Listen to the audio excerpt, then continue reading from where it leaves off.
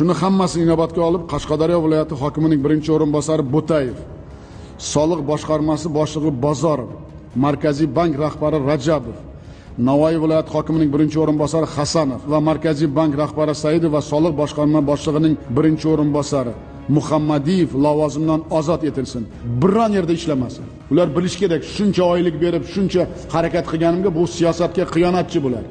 Shu bilan birga ulug'nor uzun yozyovon dehqonobod tumanlari hokimining birinchi o'rinbosarlari. Andijon oltinko'l olot qorako'l oqoltin chilonzor mo'ynoq tumanlari xiva va chirchiq shahridagi soliq idoralari boshliqlari ham lavozimdan bo'shatiladi.